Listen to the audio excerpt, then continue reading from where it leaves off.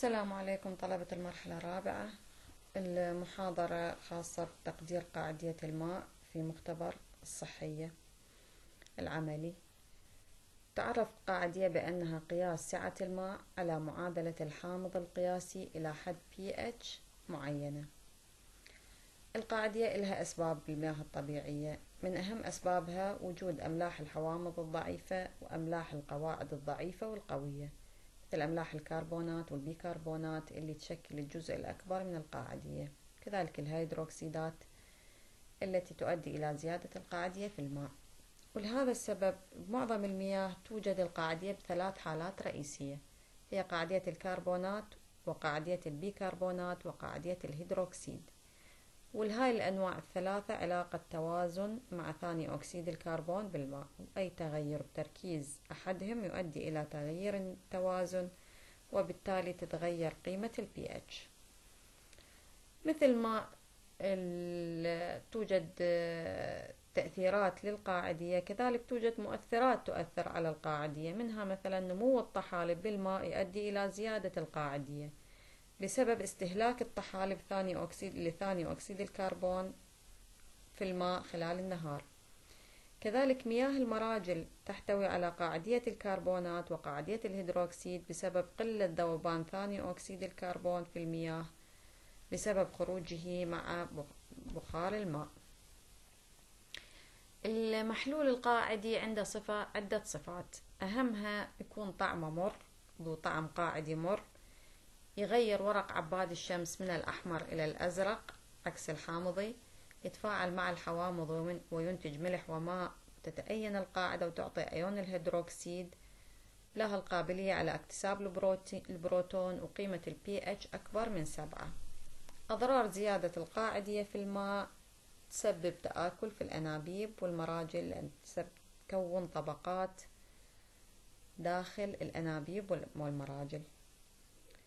الغرض من التجربة حساب قاعدية الماء لمعرفة مدى صلاح صلاحية الماء للاستهلاك البشري وكذلك تحديد استخدامات المياه حسب كمية القاعدية الموجودة بها يعني إذا ما تصلح للاستهلاك البشري أكيد تصلح ل استخدامات صناعية أو زراعية أو ري دواجن أو ماشية أو غيرها. كذلك للسيطرة على التآكل ومعالجة المياه ومعالجة نمو الطحالب. وتفيدنا حتى نحدد كمية القاعدة المضافة مع الشب لزيادة كفاءة الترسيب. بهذه التجربة نحتاج نوعين من الكواشف اللي هن كاشف الفينولفثالين يستخدم في فحص قاعدية الهيدروكسيد اللي إلها قيمة pH أكثر من تسعة ونص وكاشف المثيل البرتقالي اللي يفحص يعني يكشف لنا قاعدية الكربونات واللي إلها قاعدية والبيكربونات قيمة pH أقل من تسعة ونص. المواد والأجهزة المستخدمة حامض الكبريتيك عيارية point O two كاشف المثيل البرتقالي مثل ما قلنا وسحاحة وحامل للسحاحة ودورق زجاجي مخروط العفو و beaker زجاجي. المواصفة القياسية العراقية للمياه الصالحة للشرب تحدد أنه كمية القاعدية من 125 إلى 200 ملغرام per لتر.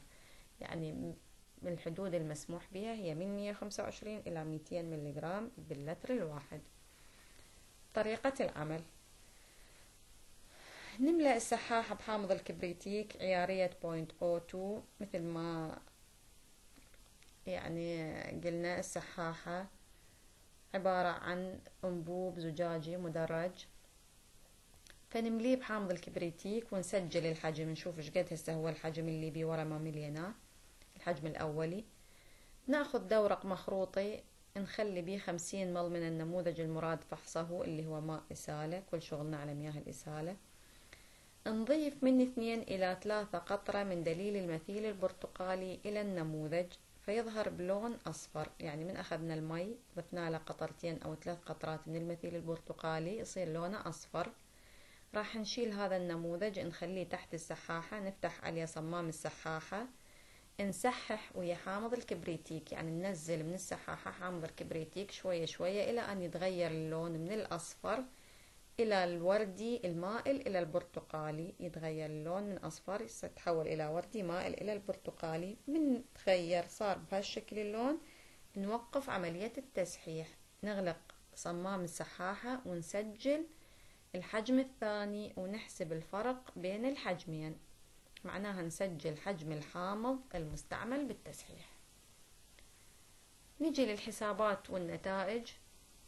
كمية القاعدية بدلالة كربونات الكالسيوم أي في بي في خمسين في ألف على في الألف هي لغرض تحويل الوحدات والخمسين آه والعفو ال A هو حجم حامض الكبريتيك المستخدم بالتسحيح اللي قلنا الفرق بين الحجمين.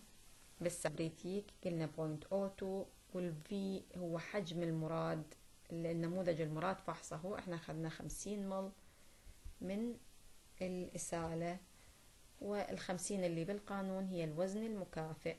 فيصير عندنا القانون كمية القاعدة يساوي A في point O two في خمسين في ألف على خمسين.